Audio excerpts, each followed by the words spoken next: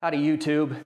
As those of you who follow the channel know, on my long list of hobbies is amateur radio. With technology having advanced the way it has, a lot of people ask me why amateur radio even still exists as a, as a thing anymore. And a big part of the justification for allocating spectrum to hams is emergency communications. The reality is that when disasters strike and the power goes out, the internet and the cell phones often go with it, and ham radio is the only thing that still works. Of course, for a ham or any other kind of radio to work, it's got to have an antenna, and you may or may not have had exactly the right one just when that disaster struck. So today, we're going to try and build this, but we're going to do it with next to no materials, definitely minimal tools, and no electricity. The boom for my antenna is this piece of PVC pipe that I have laying around. I only really need about 36 inches or so for the antenna. This is a four foot piece, but I'm gonna leave it like this because a, in uh, like a real emergency situation, you might not have something to cut PVC, uh, but practically speaking, I need something to hang on to it with. So antenna go out the front and the rest of it's just gonna be a handle. I need something to make my elements out of and that's where this comes in. Uh, this is just a random length, I don't even know exactly how long it is, of uh, 12 gauge electrical wire that I pulled out of the main sleeve. So I have four different pieces of copper here that I can trim to the various lengths for the elements that I need. The ground wire that came out of my Romex is already bare copper. I'm gonna use that for what's called the driven element or the one we're hooking up to the radio. These other guys are insulated, and in theory, they probably ought to be bare copper, but uh, I'm gonna try it without stripping them, just see what happens. One complication here is that these elements do need to be straight. Uh, this is not gonna work. And sitting here and bending this copper out like this kind of takes forever and it doesn't actually end up straight. There's a trick you can use to kind of get around that. Snug one end of the wire up nice and tight in your vise. And on the other end, get a pair of channel locks or vise grips. Make sure you've got a really good grip on this thing and then give the vise grips a whack with a hammer. You're stretching the copper, so don't overdo it because you'll make it brittle, but it comes out perfectly straight. With my copper nice and straight, I'm gonna snip off the end that I damaged in the vise, and then I'm gonna start measuring out the, uh, the elements that I need. The very front one on the antenna is called the director. It's the smallest, so I'm going to make it out of the black wire. And in this case, it needs to be 35 inches long. The longest element goes at the very back of the antenna. It's called the reflector. And in this case, it needs to be 40 inches long.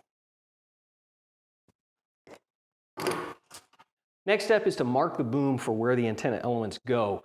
The director essentially goes at the very front of the antenna. I'm gonna mark it one inch back in just to leave myself room for my fastening system.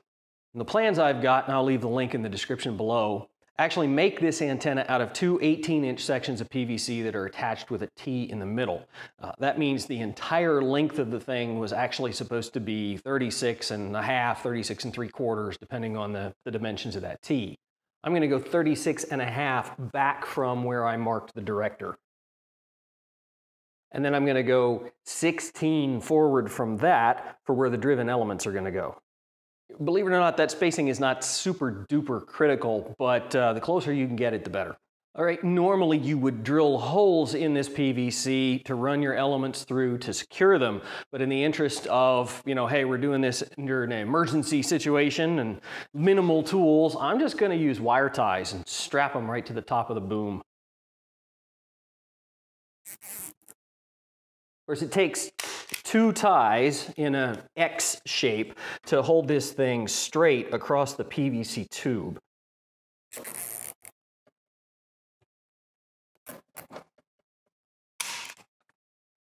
Okay, for the driven element, I admit it, I'm cheating. Um, I took the very inappropriately named UHF connector, PL239, and I soldered one piece of my driven element to the center pin, and I soldered the other piece to this uh, ground sleeve ring. That's not a huge cheat because even if you don't have electrical power, you still probably have access to torch or a lighter or something like that that would make this soldering possible. Um, in my case, mostly what it is, is I just, I don't feel like cutting this cable. So I wanted to go ahead and have a, have a connector on here so I don't have to ruin this cable. Um, clearly in an actual disaster, you know, whether or not you want to cut this thing up and just twist the leads right onto these element wires, totally up to you. I've got a male-to-male -male barrel adapter in here to go from my cable that I didn't want to cut to the connector on my actual antenna. And I think that is going to end up being the easiest thing to wire tie onto the boom. One thing to watch though, you notice I just flipped this thing over. You definitely want the cable going back uh, towards the reflector rather than towards the front of the antenna. And the last thing I'm going to do before I actually mount this thing is I'm going to go ahead and I'm going to bend my elements to get them in a nice straight line. The center pin of the driven element, that basically just means bending it at a 90 degree angle. To get the other half of this thing to line up, I've got to bend it forward first and then out.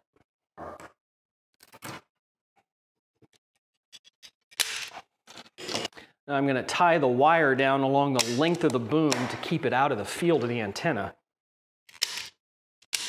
Okay, and with everything all attached, I'm going to come back and I'm going to make sure that this driven element is nice and straight, just like the other two.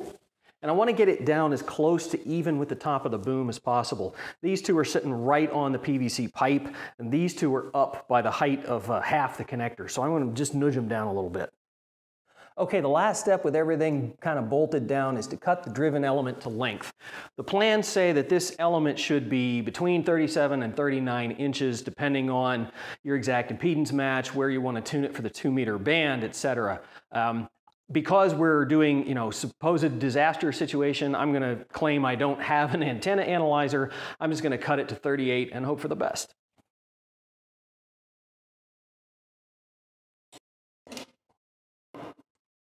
And just like that, we've got a handheld three element two meter Yagi, or something close to one anyway.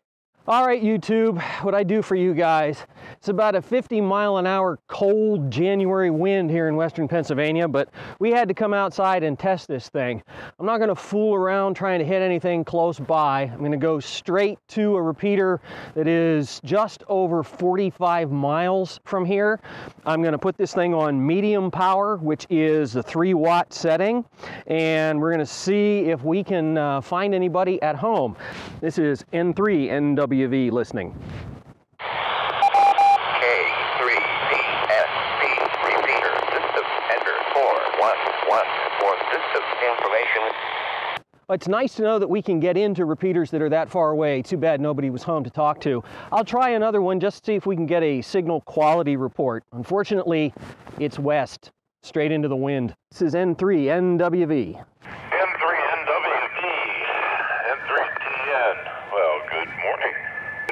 good there. You sounded good. Yeah, you got it damn great. Uh, yeah, sounds great. You're solid in the machine. So there you go.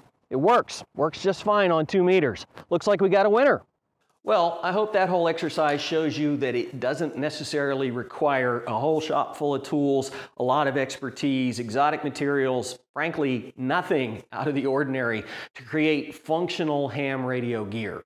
Questions or comments, leave them down below. While you're there, do me a favor and hit that subscribe button.